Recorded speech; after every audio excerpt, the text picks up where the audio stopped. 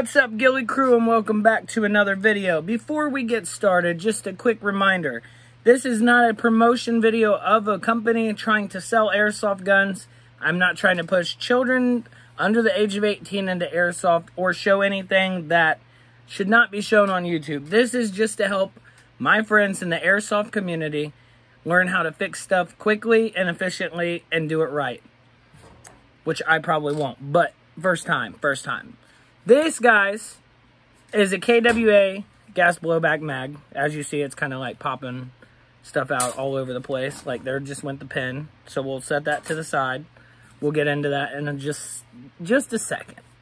So, this is what typical KWA mags look like without the tap, obviously. That is an added feature. We'll get into that as well. But the feed lips, as you guys can see, typical KWA. Okay, well this one here had some busted feed lips because it took a hard fall.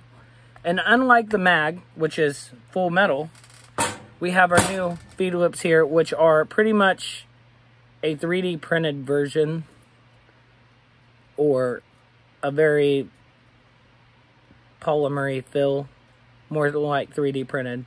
But anyways, to install this, there is a little screw right here that you have to remove with the small Allen key. And I'll show you guys what it looks like when it comes out. Because the feed lip's completely busted off of this. And it cracked so bad that it actually removed the thing around the gas. And as you guys can see, the gas valve has been removed for safety reasons to make sure that the mag is completely empty before working on it. Because, you know, safety first. You don't want a mag to blow up in your face.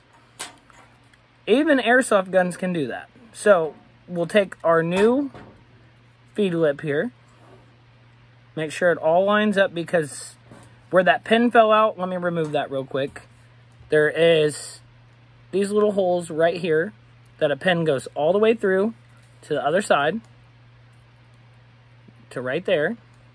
And that's what holds your feed lip in place, as you can see the hole there. So you want to line that up.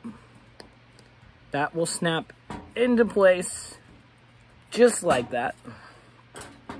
We'll take our pin, I think it's this side. It goes in easier one side than the other. So we'll just place that through here. Make sure everything's lined up. We got our hammer off screen, so I'll put that in here in a minute because I left it on the floor.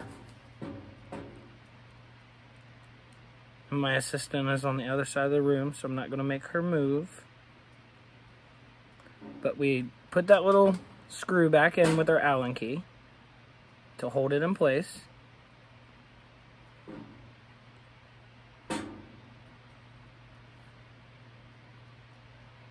Just like that. So then you guys can see that. And as you see, I have the pin started where it needs to be. And I'm trying to figure out which side is the easiest to slide it through. Because you want to make sure everything is lined up so that you, you can actually see the light through the hole there. And everything looks to be lined up pretty well, just in case. I'm going to take my Phillips head screwdriver and just gently push down on that. Make sure the that everything is working correctly. So, let me set that there.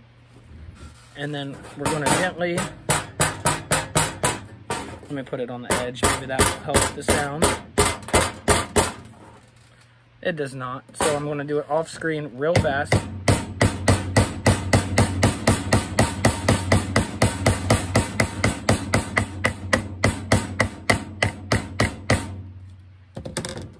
And then that is back in place so it will not catch on your mag well or anything like that to hold it up from latching into your gun.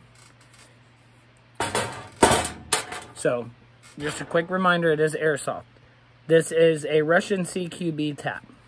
So what that does is makes your mags compatible with HPA. Since this is a gas blowback, it is inconsistent with just the regular propane or CO2 style gases, green gas, uh, not CO2, green gas, that's the word I was looking for. But you want to make sure that's all the way in so then your mag does not leak or have any issues. So we're going to start the thread. Make sure you do not cross thread them because then you will have bigger problems than it's worth. And simple enough. Now we have two working KWA gas blowback mags with CQB taps, the Russian ones.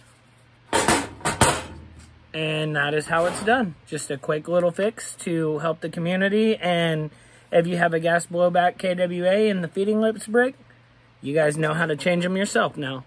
So until next time, Ghillie Crew, I will see you all in the field.